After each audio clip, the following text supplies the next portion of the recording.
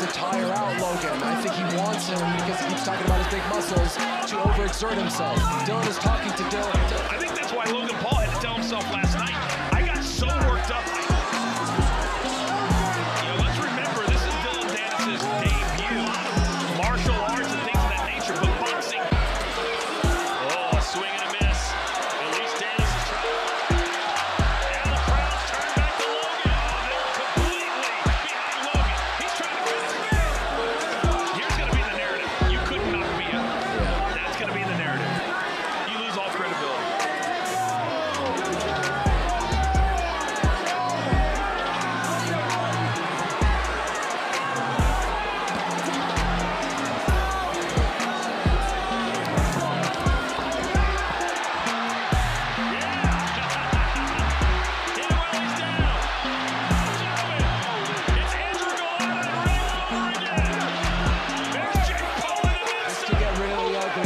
There's a lot of bad blood there. As you said, Jake Paul bottles are being thrown.